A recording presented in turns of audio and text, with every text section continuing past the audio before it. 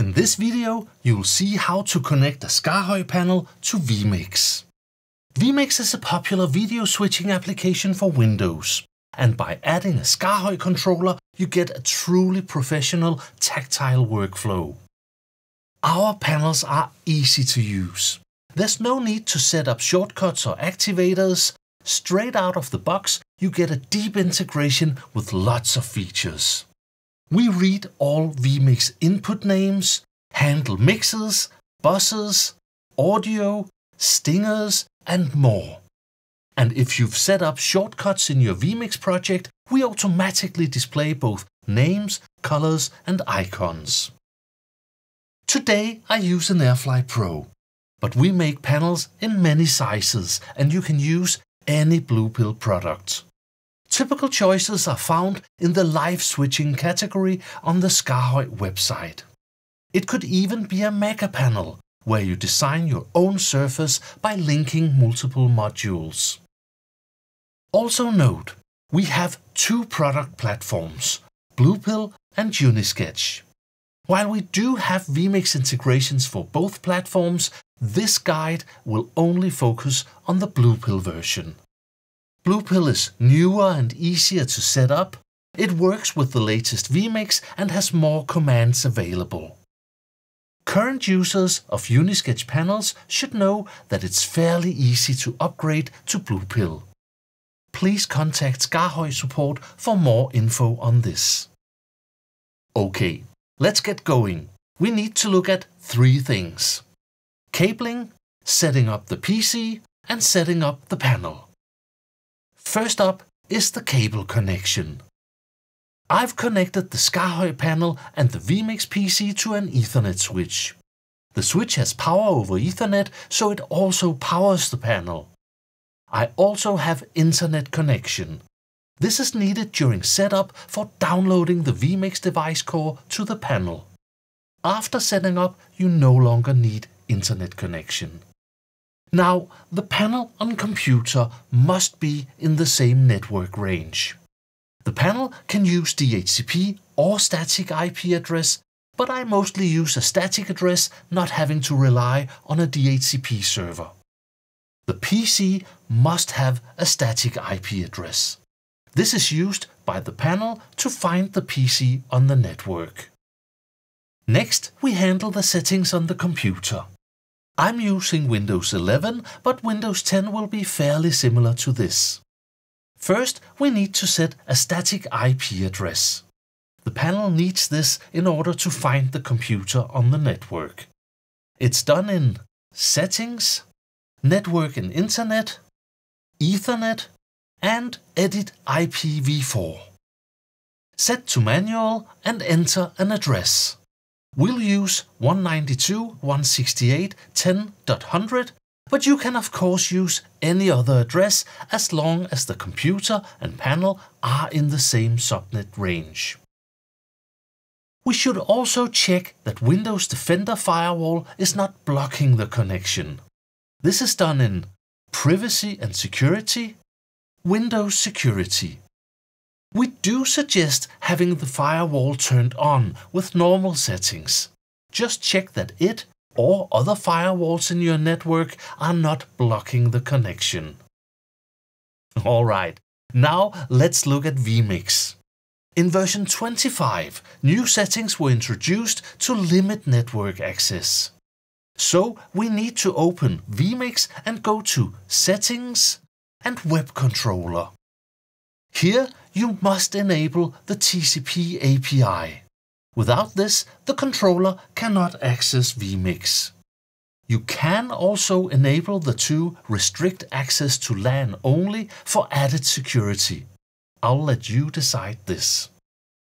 Please note, do not change the port settings in either vMix or in the SKAARHOJ setup. Port 8088 is the correct port to use in the vMix settings. Click OK and that's it.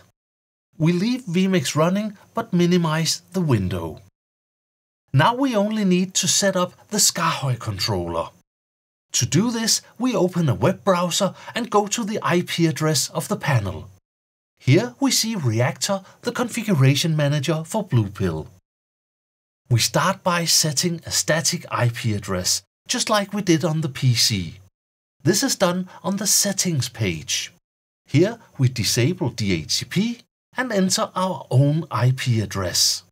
In this guide, we'll use 192.168.10.99, but you can use another address as long as the panel and the computer are in the same subnet range.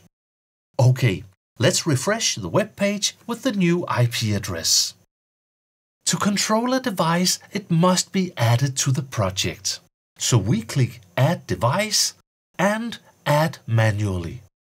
Here we filter the list by entering vmix and select vmix27. In the settings window, we enter the static IP address of the PC, the one we set just before, and click Save. The device core is downloaded and vmix shows connected. Please note, SKAARHOJ panels can control many different devices, such as ATEM, Kairos, TriCaster, vMix and more. You can toggle between devices or even control them simultaneously. Please see the entire list of compatible devices at devices.skaarhoj.com. Okay, we have added vMix. Now we only need to assign the commands to the buttons on the panel.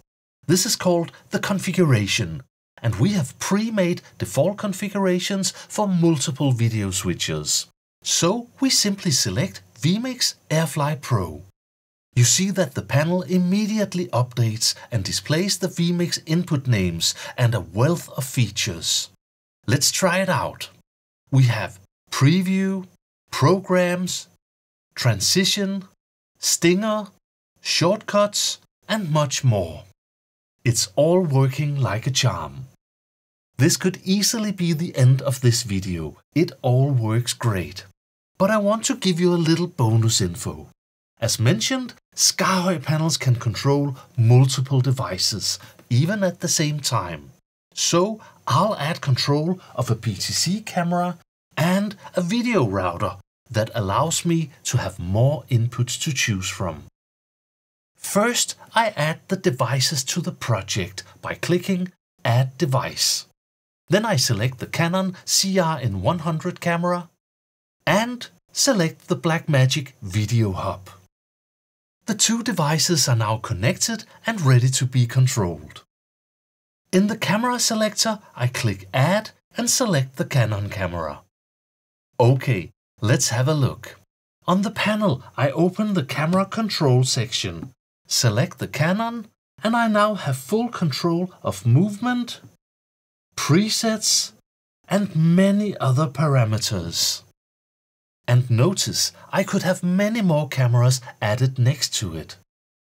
Great, let's do the same for the Video Hub. In the Quick class, I click Add and select the Video Hub. That's it. Now I can access it on the six topmost buttons and do routing with ease. And remember, you can control many different types of extra devices this way. Alright, we're done. Now you know how to connect a SKAARHOJ panel to vMix. And you have seen how this transforms vMix into a professional tactile workflow. You even saw how to add other types of devices into the mix for even more control please have a look at our other videos on reactor setup and configuration. You'll find links to these in the description. Thank you for watching.